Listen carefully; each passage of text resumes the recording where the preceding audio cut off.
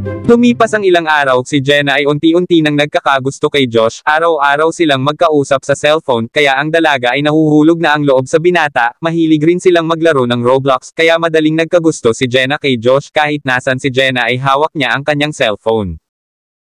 Happy Montsary babe. I love you. Happy Montsary din babe. Picture muna tayo babe. Okay.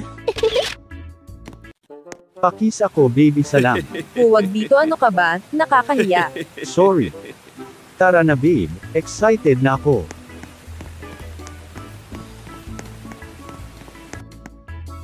Ano po papanoorin nyo? Babe all of us are dead na lang. Sige, all of us are dead na lang. Sige po ma'am. Thank you. Order na tayo. Okay. Anong gusto mo, pizza or ice cream? Kahit ano. One box of pizza please. Okay sir, 699 pesos po. Okay. Tara na babe, excited na ako.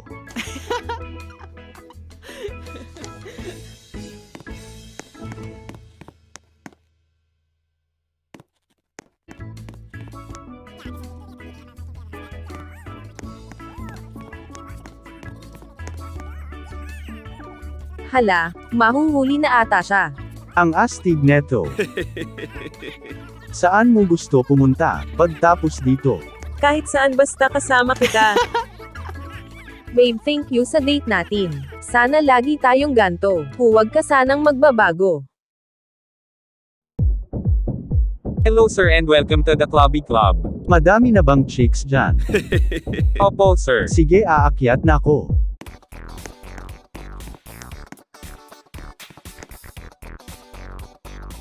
Ang ganda ng view. Ang cute naman neto. Hello pre, nasaan ka na ba? Madaming chicks dito. Bahala ka dyan, sakin na lang lahat ito. Pumunta ka na dito. Hi Pogi, tara sayaw naman tayo. Ako ba? Oo, sino pa ba? Tara na. Okay. Ang sarap maging free, nakakasakal kasi si Jenna. Sige na nga, hindi ako marunong sumayaw ha. Marunong ka naman pala sumayaw. May boyfriend ka na ba? Aim single and ready to mingle. Eh ikaw may girlfriend ka na. Kung may girlfriend ako, wala ako dito. Sino yan? Wow, strict yarn. Hi guys, nasa club ako ngayon at may kasama akong Pogi. Vlogger yard. Di mamaya ka na tumawag, wala ako sa bahay. May kasama akong showty. Ano Instagram mo, Miss Beautiful? At Jessica Cute. Bagay sa pangalan mo. Polero ka talaga. Naglalaro ka ba ng Roblox? Oo naman. Ayun oh, magiging close kami neto. Accept mo na ako. Ayan na-accept na kita. Ligawan ko kaya ito. Ano sabi mo? Narinig ko yun. Ah, wala yun. Anong number mo? Ang bilis mo naman.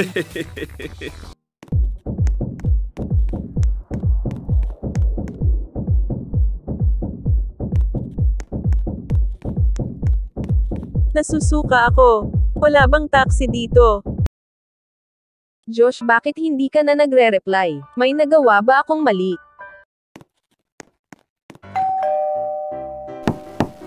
Bes, buksan mo. Eto na bubuksan na. Excited yard.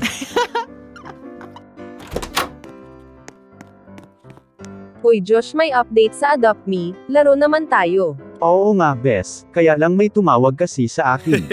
Hoy bes, akala ko ba oras natin ito? ah sige sige, wrong timing ka naman bes. Ano sabi mo? Ah wala yun, tara kain muna tayo. Anong gusto mo, pizza or ice cream? Kahit ano. O eto ice cream, pampalamig ng ulo.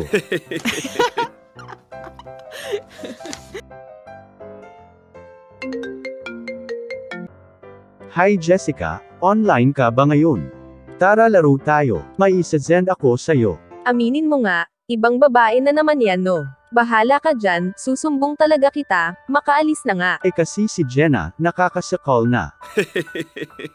Ikaw talaga, ang daya mo naman eh, sumbong kita sa girlfriend mo. Hindi ka na magtino. Eto naman. Sorry na bes. Bahala ka dyan.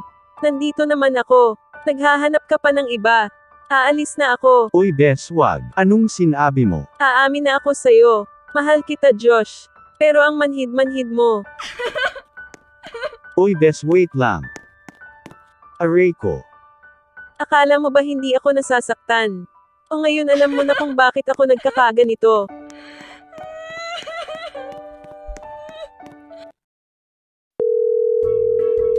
Hi Jessica. Pwede ba tayong magkita? Treat ko. O sige wala naman ako ginagawa. Mag-video nga ako habang tumatay. Yuck, kadiri ka. Anyways, what time tayo magkikita? Siya nga pala mismo ako no. Baka ako ang namimiss mo.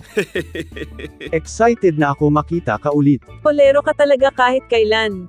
Ano na naman tong sinend mo sakin? Puro kakalokohan. Picture ko. Ayaw mo ba? Hindi naman. Sige magpapapogi muna ako. Este magbibihis. Ano kayang susuotin ko? Eto kaya? Ay hindi. Ayun oh, ang pogi ko talaga.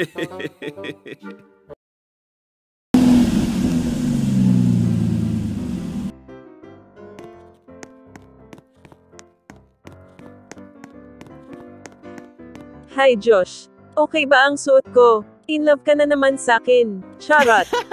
Order na tayo. Kanina ka pa dito. Hindi naman kakadating ko lang. Akala ko kanina ka pa dito. Ang ganda mo talaga. Hi ma'am sir ano po order nila? Cupcake and caramel macchiato. Okay po ma'am. This is your order caramel macchiato. Thank you. 570 pesos po. Masaya ka ba nakasama mo ako? Oo naman love. Love, bakit sinasagot mo na ba ako?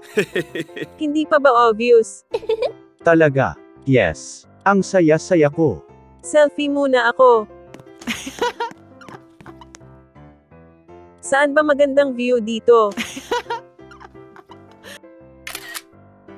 Hashtag taken.